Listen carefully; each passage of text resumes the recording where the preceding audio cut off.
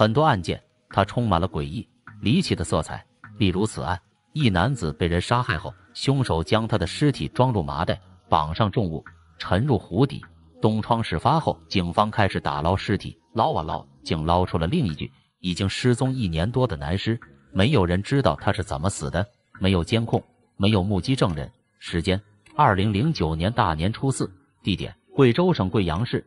这一天清晨，一中年妇女神色匆匆地来到贵阳市云岩分局报案。她自称。她的老公刘德华被人绑架了。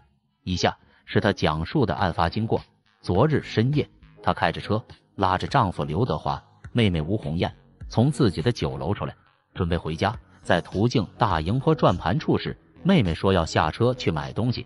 她停好车，妹妹刚下车，正在此时，突然从暗处冲出了两男一女，三人钻入车内，从背后挟持了他们。其中之一的女子更是拿枪抵住了他的头。之后，在他们的要求下，他开着车，拉着几人漫无目的的游走在贵阳市的大街小巷，直到次日清晨，在一处四下无人之地，几人下了车，裹挟走了她的老公。一开始，他以为几人是绑架勒索，他害怕几人撕票，故没敢报案。直到十几个小时后，是仍未收到任何消息，这才来到了警局报案。面对报案人吴敏的这一套说辞，警方是心生疑虑的。一来是。绑架的最终目的就是勒索，但从当下来看，这更像是仇杀。二来是会有这么巧合的事情吗？妹妹刚下车，几名歹徒就上车了。如果是仇杀的话，那妹妹肯定就是帮凶。警方是不相信巧合一说的。三来是吴敏说，当时他惊吓过度了，并没有记住几名嫌疑人的相貌，这也不符合常理。案发经过你记得，案发细节你也记得，为什么偏偏几名被害人的相貌？你不记得了。随后，为了验证他的说辞，警方立刻传唤其妹吴红艳来到警局问话。披露出现了。吴红艳说，当天的确是自己下车后，几名歹徒上的车，但提到下车地点时，他与其姐吴敏说的不一致。准确的说，是相差甚远。很明显，两人之一有一人说谎了，或者说两人都说谎了。大计恢复术当即启动。很快，吴红艳率先扛不住了。她说。姐夫刘德华已经死了，尸体就在红枫湖风景区的湖底。徒手吴红艳，最后又在又在他亲这个吴红艳的身上呢打开了缺口。吴红艳说：“姐夫烂赌家暴，姐姐为了摆脱姐夫的控制，从去年九月份开始便谋划杀害姐夫。为了确保万无一失，姐姐还找来了他酒楼的部门经理顾怀虎参与此案。案发当天。”姐夫从昆明回家过年，三人组了一个鸿门宴，将从来不喝酒的姐夫灌醉了。之后，他们将车开到红枫湖风景区，在车上乱刀囊死了姐夫，随即又将他的尸体塞进麻袋，最后再绑上两根三十公斤的铁锤后，丢进了红枫湖湖底。这就是案发经过，铁证如山了。当天，吴敏、顾怀虎被缉拿归案，但即便如此，吴敏还是拒不承认自己的犯罪行为。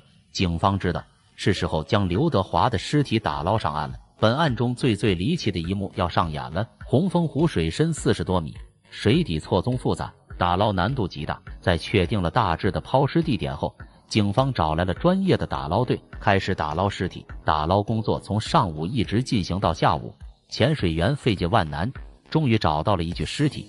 然而，将尸体拖上岸后，法医傻眼了，因为啥？因为该具尸体。已经被泡得面目全非了，已经出现尸蜡了。而刘德华失踪至今才过去了短短十七天而已，这不符合尸变的顺序。随即，警方提取了该死者的血样，经过比对，原来他不是刘德华，而是附近某村村民李某。经过尸检，李某全身上下并无明显外伤，肺部与呼吸道内充满积水，这符合溺水死亡的特征。离奇，打捞继续。下午一点三十八分。水下再次传来消息，打捞队员找到了一个与几名犯罪嫌疑人描述高度相似的编织袋。消息传到岸边，闻讯赶来的刘德华的家属嚎啕大哭。然而，将编织袋剪开，在场众人又又傻眼了。编织袋里装着的并不是刘德华的尸体，而是一捆捆从电缆线上被剥离的胶皮。哭错了，尴尬了，打捞再继续。然而，这一次，随着时间慢慢的流逝。水下再也没有任何动静了。太阳下山，水温骤降，打捞中断。思虑再三，警方找来了本地的渔民协助打捞。三百六十行，行行出状元。这鱼啊，那之外，用绳索拴起钩钩来钩。后面经过半天的紧张的作业呢，他们终于在，终于把这尸体刘德华那个尸体呢捞起来了。他们捞起来以后呢，整个情况呢，包括他装尸里面呢，哎，还放的有些沉重物，他们和事情交代的是完全。至此，本案成功告破。那么问题来了，吴敏说的就是真的了吗？不见得。据刘德华的家属说，吴敏这个人的行为作风存在严重问题。吴敏这个熟悉不？他这个性情败坏，道德败坏，长期都有一种勾引男人本人也喜欢家庭，喜欢当英雄啊，导致以后不再乱来了。他甚至和平同居，是时间是长达上年至几年之久，都有这个情况的。真相也许只有吴敏自己知道了。同年，经贵阳市中级人民法院一审判决吴敏死刑，而出于义气，帮助吴敏协助杀害刘德华的吴红艳、顾怀虎也被判处死刑，缓期两年执行。